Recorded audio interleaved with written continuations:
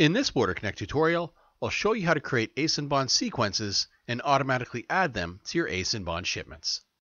Adding in-bond number sequences to BorderConnect is helpful when you want to automatically assign an in-bond number to an in-bond.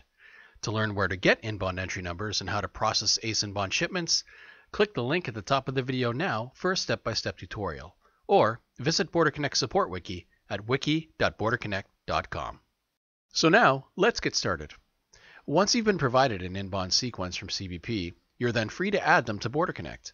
To do so, once you're logged in, hover over the ACE Manifest menu option at the top and click ACE In-Bond Sequences, where you'll be brought to the ACE In-Bond Sequence search page.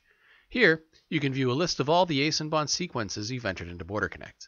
To create a new in-bond sequence, click Create ACE In-Bond Sequence at the top.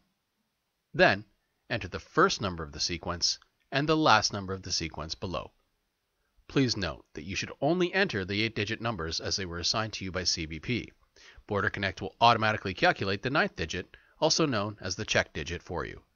So it should not be entered here. Now, click Save. You'll be brought back to the ACE In-Bond Sequence search page where you can see below that your new sequence has been added to BorderConnect. Perfect. Now we're free to create an ACE In-Bond shipment where our available in-bond numbers can be assigned to the shipment. Once you created an ACE manifest with your ACE in-bond shipment, you'll get to the Assign in-bond information page.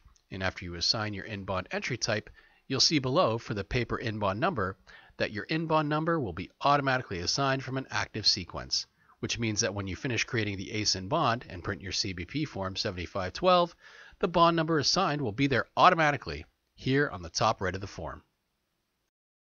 Hi, I hope you enjoyed this video and found it helpful. Subscribe below for more videos like this. Or sign up to BorderConnect for a free 45 day trial using special promo code EASY45. Thanks for watching.